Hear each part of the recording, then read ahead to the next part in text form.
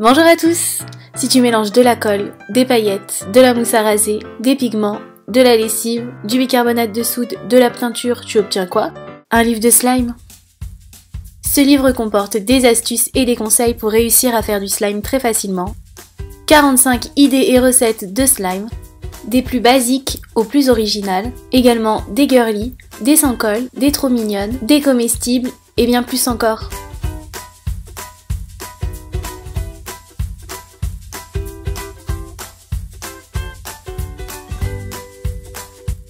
Je vous laisse apercevoir sur le dos des slimes que je vous ai pas montré à l'intérieur du livre.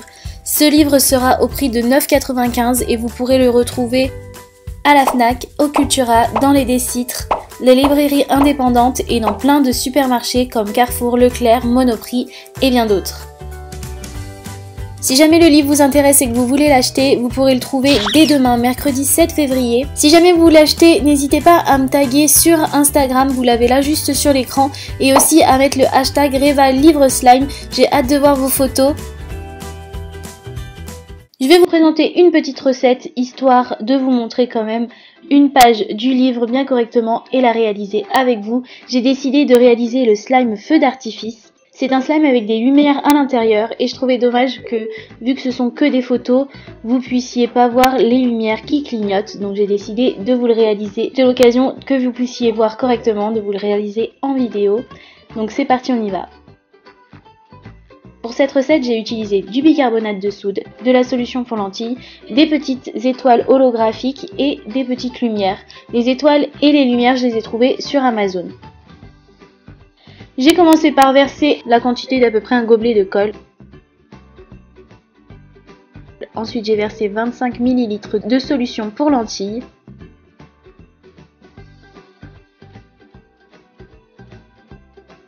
Et l'équivalence d'environ une grosse cuillère de bicarbonate de soude.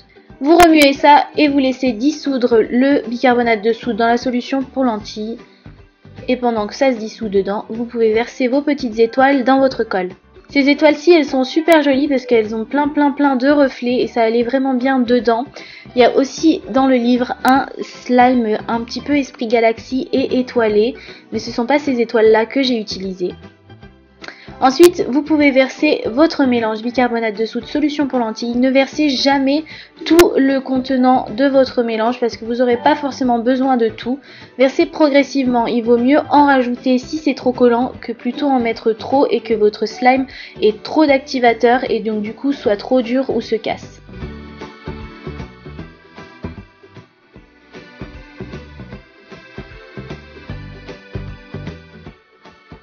Vous voyez que là il reste encore du mélange en dessous de la colle mais quand je le touche avec mes doigts déjà je le remue.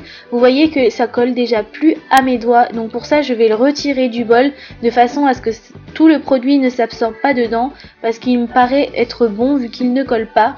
Donc ensuite je finis de le malaxer à la main et vous voyez qu'il est très bien il colle pas. Donc ça servait à rien de faire absorber tout le produit au risque qu'il soit trop dur Donc je trouve que déjà rien comme ça, ça fait déjà un très beau slime.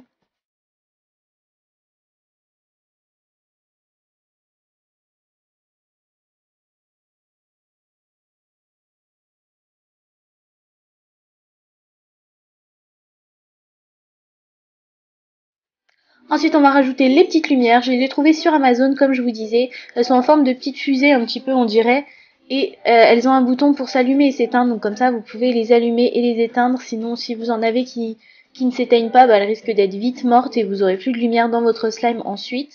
Donc j'en mets quelques-unes à l'intérieur du slime et puis je vais bien les mélanger au milieu. Et voilà ce que ça donne. Je le trouve super joli ce slime. Donc j'avais vraiment envie de vous le montrer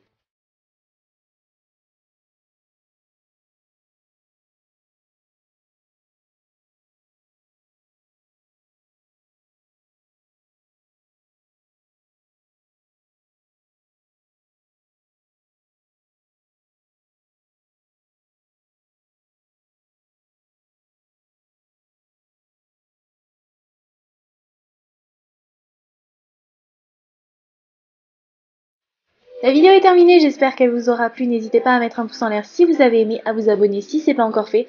Vous pouvez regarder mes vidéos précédentes en cliquant juste là sur les miniatures. Je vous dis merci d'avoir regardé et à bientôt pour une prochaine vidéo.